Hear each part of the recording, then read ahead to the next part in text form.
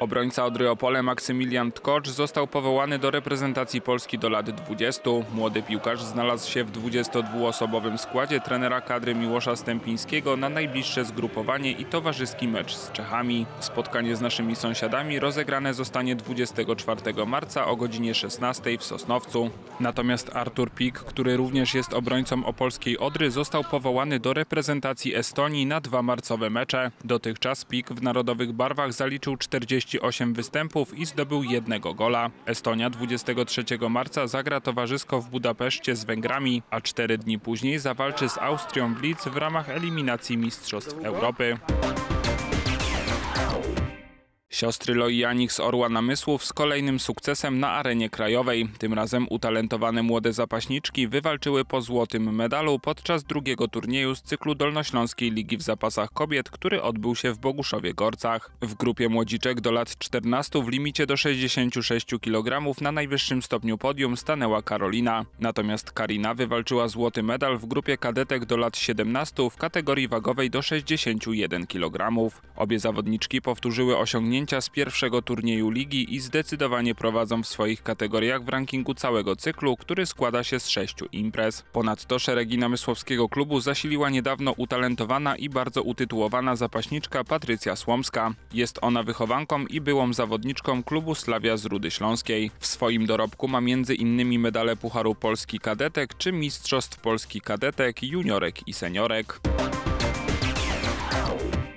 Dwa złota i srebro to dorobek medalowy Ludowego Klubu Jeździeckiego Lewada podczas halowych Mistrzostw Polski oraz halowego Pucharu Polski w ujeżdżeniu. Impreza odbyła się w Radzionkowie, a na najwyższym stopniu podium Mistrzostw Polski Dzieci stanęła Zofia Kaczmarek. Halową mistrzynią Polski młodych jeźdźców została natomiast Maria Stelmaszyk, zaś srebro halowego Pucharu Polski Seniorów wywalczyła Natalia Badura. Cenne zwycięstwo odnieśli w weekend futsaliści Dremanu Opole Komprachcice. W ramach 23. kolejki Fogo Futsal Ekstraklasy Opolanie wygrali na wyjeździe z Red Devils Chojnice aż 4 do 3. Wynik otworzył już w piątej minucie Kamil Kucharski. 1-0! 4 minuty później na 2 do 0 podwyższył Marcin Grzywa i takim rezultatem zakończyła się pierwsza połowa tego starcia. Po zmianie stron było już bardziej wyrównanie. W 27 minucie drugie trafienie zanotował Grzywa. Miejscowi odpowiedzieli 9 minut później. Autorem gola został Olech Nechela. W samej końcówce oba zespoły dołożyły jeszcze po trafieniu. Dla Tygrysów z Opola celny strzał oddał Tomasz Czech, Własnej połowy! a wynik ustalił Przemysław Laskowski. Dreman plasuje się na szóstej lokacie z dorobkiem 31 punktów. Liderem jest rekord przed Konstraktem i Piastem. Stawkę zamyka Klirex.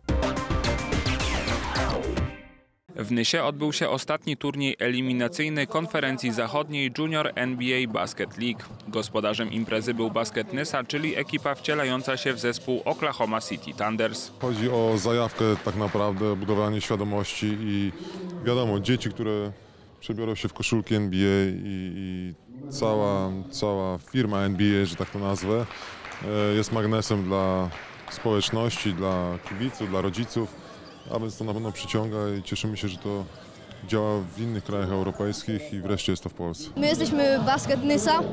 E, Gramy już od e, ponad półtora roku chyba.